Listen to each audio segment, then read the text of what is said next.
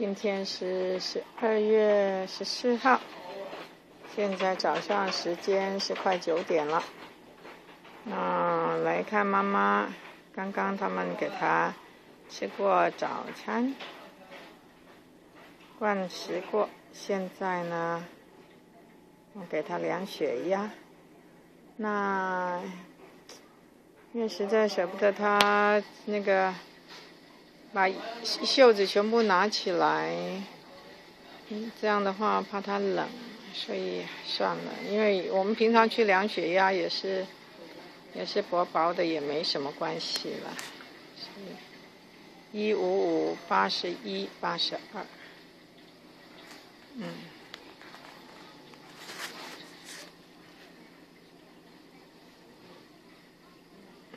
然后去那边给他量，嗯。